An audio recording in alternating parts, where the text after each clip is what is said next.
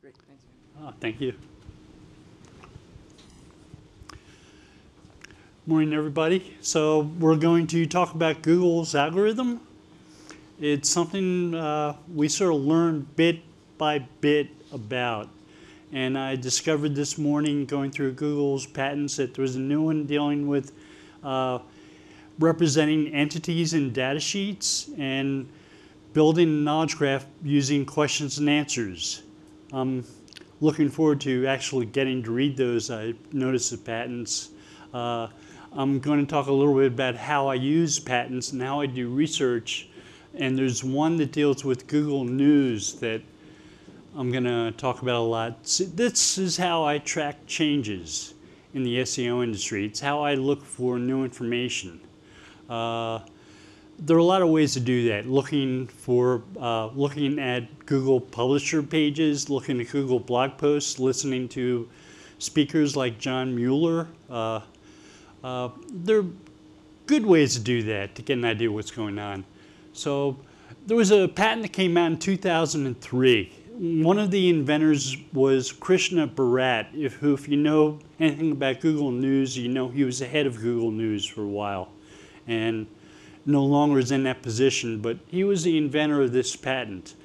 And when you update patents, you sometimes repeat everything that's in the descriptions of the patents and file new claims. So they're completely different and completely changed. And when a Computerworld writes about the new patents like they did in 2012 when a new version of this patent came out, they didn't know that. So they said it's exactly the same as the one from 2003. They didn't know the difference between them.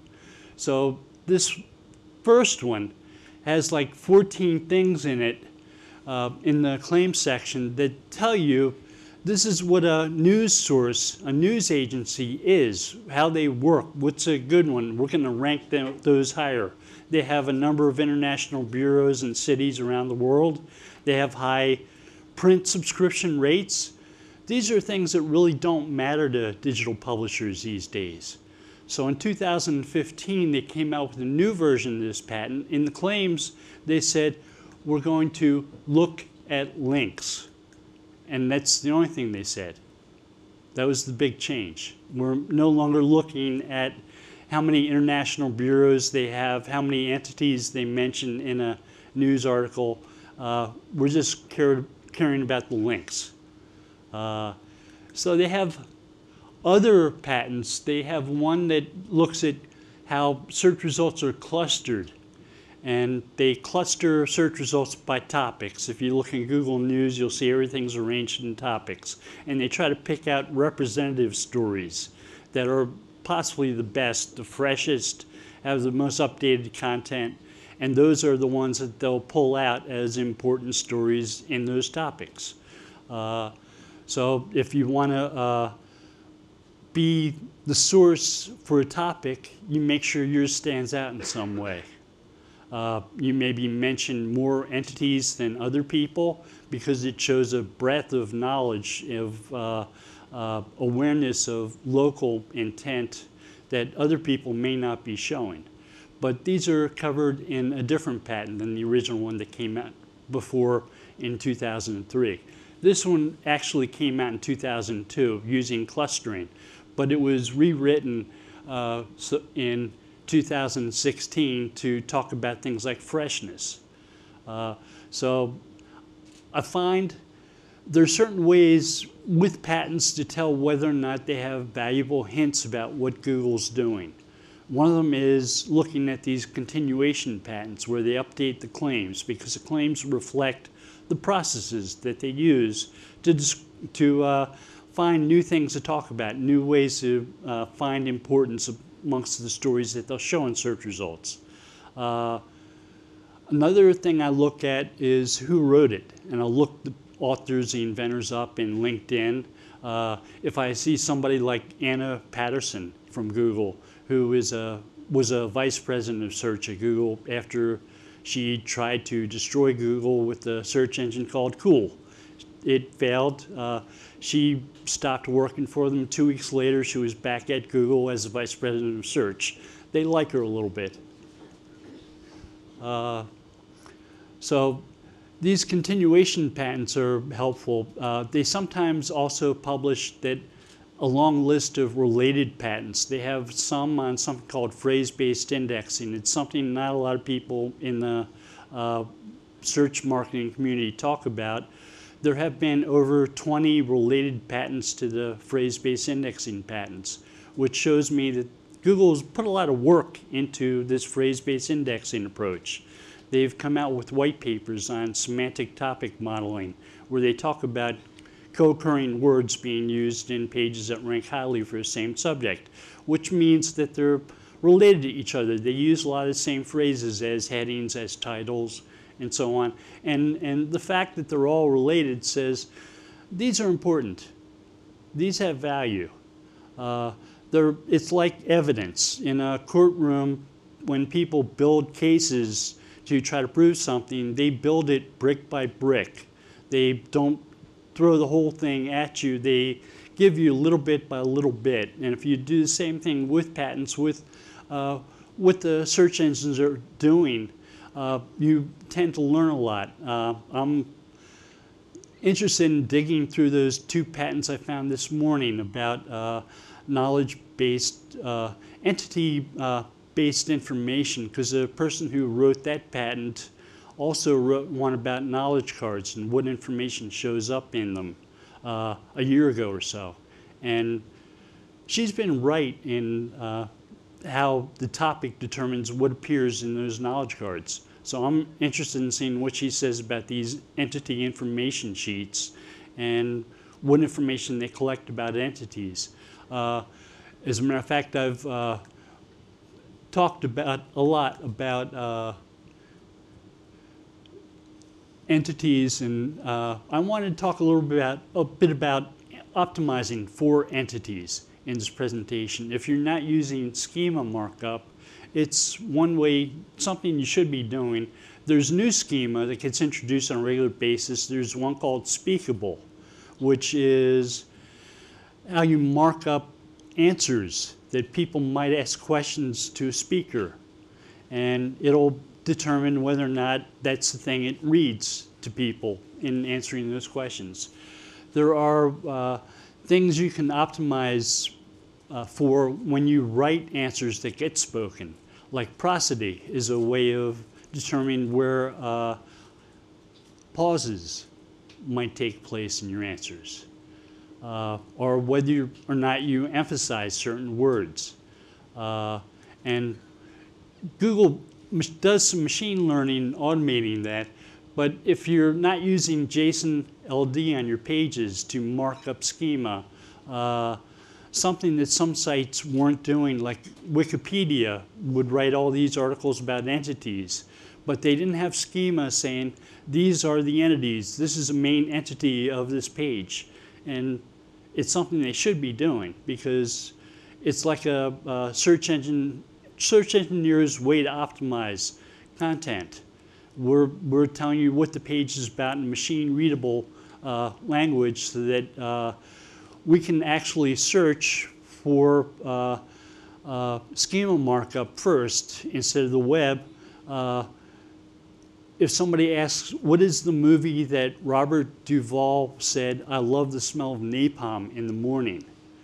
Google can do a search for schema and say, okay, movies, Robert Duvall stars in this famous quote. What movie is it? Okay, and the search result, are, the top result are two uh, YouTube entities with Robert Duvall saying, I love, love the smell of napalm in the morning. So if you optimize using schema, you're uh, taking advantage of a database of information that Google will search for before searches through the index of web content, which is maybe something Google spokespeople aren't telling you these days, but it happens, it exists. Uh, so if you're not familiar with the concept of a machine ID, when Google came out with, uh, they acquired MetaWeb. They acquired a, a, a, database from it called Freebase. And Freebase used to uh, give machine IDs to different entities. So Arnold Schwarzenegger wasn't just the Terminator or kindergarten cop, he was a long string of letters and numbers. Uh, so every time they had an article about Arnold Schwarzenegger, they could mark it with that long string of letters and numbers, and that would tell the search engine, this is about Arnold Schwarzenegger, the entity. Uh, and they started using those entity IDs in places like Google Trends and in reverse image search to uh, mark up the specific entities things were about. It was like search engineers' version of SEO. Uh, so I have some examples in this presentation of places where they talk about main entities of pages. So you may have a page that has a bunch of entities on it, and you want to identify which entity is the one the page is about specifically. So I had a client with a, a apartment website. It was four pages long. They didn't include lots of information. It was just outside of Washington, D.C. And the elevator in, in, that goes down to its basement went down to the Washington Metro with lots of shops and stores, the biggest shopping center in Virginia area. Uh, it was called Pentagon City, and there were lots of uh, headquarters of places like Lockheed Martin that were accessible through that, uh, uh which would make the commute from uh, around Washington, D.C. a lot easier if you could just ride the metro. If you had kids and lived in those apartments, you could visit 19 different Smithsonians for free and it's your Saturday morning. You know, knowing that location really does sell and it really does make a difference. And we helped this apartment complex add entities and optimize for entities their website and let people know about all the things that were related to it. And they sold out all their apartments like really quickly because people wanted to live there. They understood the value of uh, being that close and being tied to something like uh, uh, the Washington Metro line, which was just an elevator right away.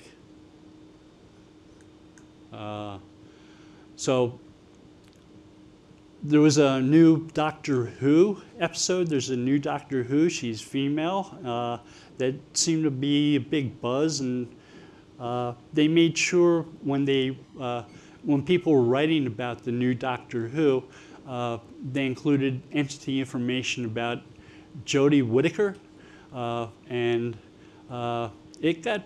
I watched it. It was a pretty good episode, uh, but make sure you uh, mark up entities when you're writing about them. Understand who they are. Uh, refer to them in your schema markup because, like I said, search engine will search through schema before it searches through a web index of text. Uh, do any of you have speakers? Do you ask Google questions? Like I ask for news in the morning when I wake up, and sometimes it'll, it'll say, I have two more stories, I'll email them to you. Do you want them emailed to you, yes or no? And I say yes, and uh, so it, it keeps me busy during the day and getting answers from Google when I uh, ask good questions and I think about them and ask them a lot. Uh, but deciding what it should answer is something that as a web publisher you can do with this new schema markup. If you decide this is the answer I want to use, and one thing I would recommend is that you start talking, start speaking what your answers are and see how well they come out as something spoken. Because there is something that's called pros prosody, which is how a search engine, there, there's a white paper I've linked to at the bottom of this page where Google talks about uh, how they do machine learning to decide where to insert hyphens, where to talk about, add emphasis. Uh, so, you know, with a statement like good night and night, parting in such sweet sorrow, that I shall good night till be tomorrow, be morrow. Uh, it makes all the difference where you put the emphasis.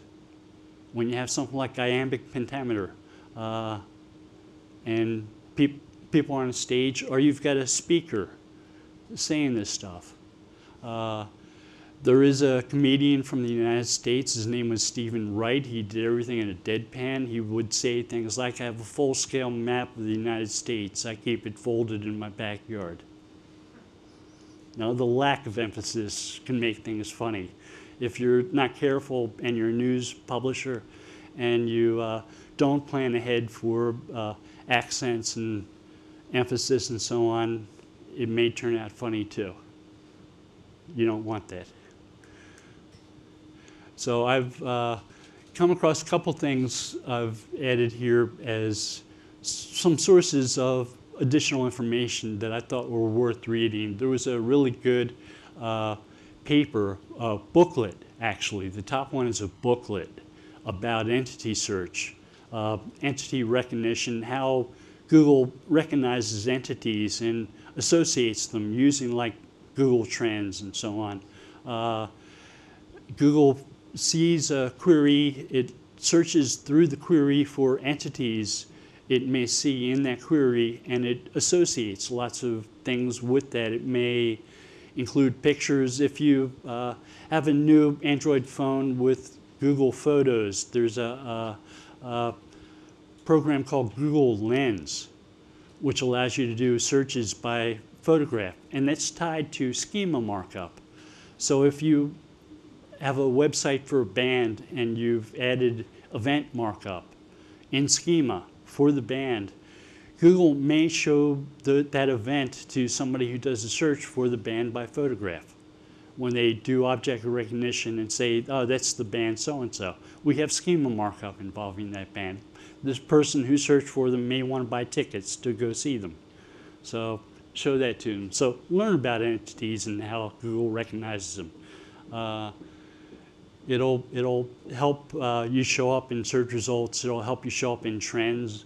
Uh, Google does show in the news type results uh, at the tops of web searches. So if you're talking about an entity that uh, people are searching for, you may be there.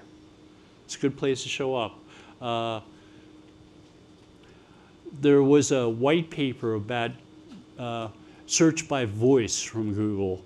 Uh, they talked about Goog 411. I remember going to a concert, uh, to a conference in 2006.